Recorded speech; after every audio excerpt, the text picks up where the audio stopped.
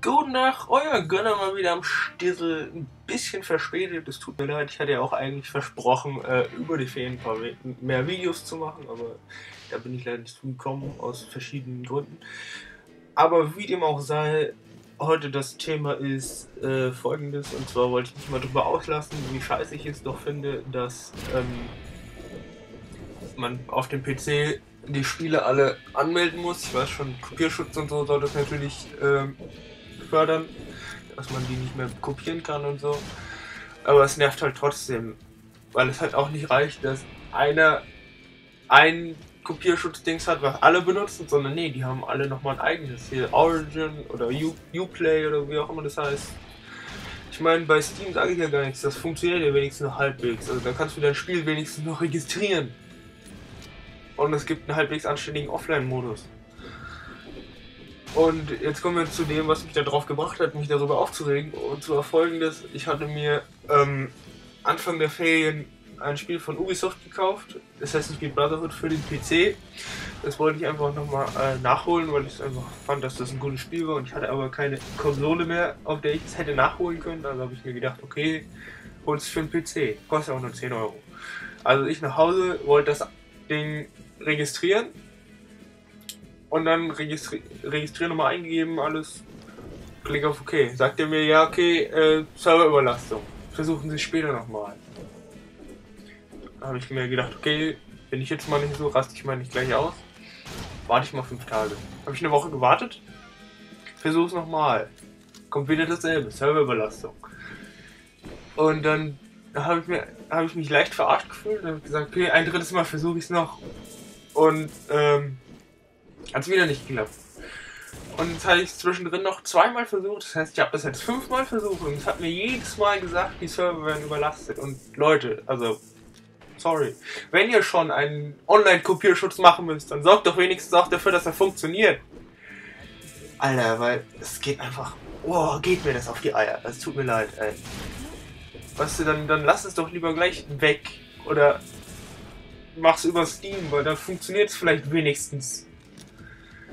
Aber Leute, ey, oh, ich meine, Ubisoft muss ja, der, der Serverraum muss ja aus Bambus bestehen dafür, dass sie so eine Kackverbindung haben, dass das Ding dauernd überlastet ist. Aber ey, weißt du, sogar, ich wette mit euch, sogar ich würde es hinkriegen, so ein, so einen Online-Dienst hinzu, hinzubiegen mit meinem Kartoffelruder, den ich hier stehen habe.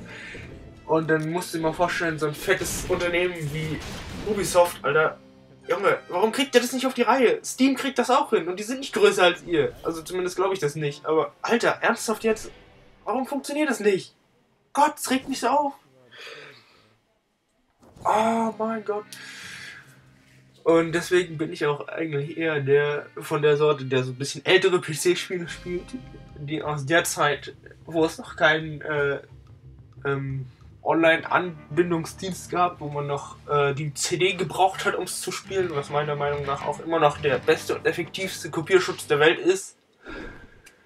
Und das hat einem unter anderem auch tolle Sachen ermöglicht, wie zum Beispiel das Spiel einem Freund auszuleihen oder ähm, das Spiel verkaufen zu können. Und Junge, äh, ich verstehe nicht, weil ähm, das ist doch einfach, das ist einfach nicht toll. Ich meine, zumindest jetzt, ich weiß nicht, ob das Spiel, Spiele-Franchise übergreifend ist bei Ubisoft, aber zumindest habe ich gehört, dass zum Beispiel auch die Assassin's Creed Ports für den PC richtig räudig sein sollen. Und das ist ja auch, das ist ja auch nicht gut. Ich meine, wenn du dann es geschafft hast, dieses Spiel zu installieren nach keine Ahnung wie langem Abfuck, hast du dann trotzdem noch ein Spiel, was dann wahrscheinlich äh, prozentual, was das angeht, von allen Plattformen die meisten Bugs drin hat. Sprich, irgendwelche Grafikfehler oder das Spiel stürzt ab und keine Ahnung. Und die Runtime-Routine funktioniert nicht richtig, keine Ahnung. Und sowas halt. Und dann fühlt man sich ja noch härter verarscht als Kunde. Und da tut mir wirklich jeder PC-Spieler leid, der dazu gezwungen ist, ein Ubisoft-Spiel auf dem PC zu spielen, weil es einfach nicht funktioniert. Und äh, Leute, ey.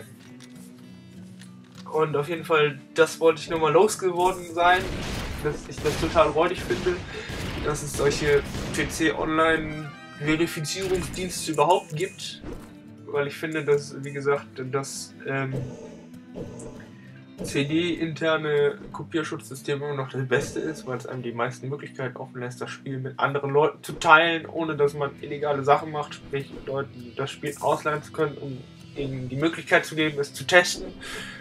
Dann braucht man auch ähm, keine Online-Verbindung, um es zu installieren oder gar um es zu spielen. Außer es hat irgendwie einen Online-Modus oder so. So, das wäre das Thema gewesen. Jetzt kommen wir nochmal zu einem anderen Thema, was jetzt vielleicht schon ein bisschen älter ist, aber da wollte ich auch nochmal meinen Senf dazu abgeben. Und zwar dieses, ähm, falls einer von euch das noch nicht mitgekriegt hatte, äh, Prince of Pegida, sage ich da mal ganz gediegen. Und ähm, das, dabei handelt es sich um einen Trailer, den ein Deutscher gemacht hat. Das war wahrscheinlich irgendwie ein. Äh, ich könnte jetzt nicht beurteilen, aus welchem Landkreis der kommt, weil ich keinen Fehler machen möchte und niemanden beleidigen möchte, der vielleicht aus einem anderen Landkreis kommt. Aber auf jeden Fall hat sich der gute Mann äh, ein witziges Projekt einfallen lassen. Und zwar hat er halt den einen Trailer von ähm, einem recht alten Spiel namens, ich glaube, das war, war aus dem ersten Teil von äh, Prince of Persia das Gameplay gewesen, was er da genommen hatte und hatte das halt so ein bisschen umgemodelt auf Prince of Pegida. Und äh, ich persönlich muss sagen, ich finde die Aktion richtig witzig, ich feiere das total, weil ich auch äh, ganz ehrlich sagen muss, dass ich diese ganze Pegida-Sache ein wenig lächerlich finde, weil warum macht man sowas? Und naja, ähm, ich werde euch den Trailer nochmal verlinken, falls ihr den noch nicht gesehen habt. Und dann könnt ihr ja mal in Kommentarform eure Meinung dalassen, so wie ich mich auch darüber freuen würde, wenn der ein oder andere von euch eventuell auch mal seine Meinung zum Thema Online-Anbindung von PC-Spielen dalässt. So, damit war es das für dieses Video und ich wünsche euch noch einen schönen Tag. Genießt die letzten paar Tage Ferien noch.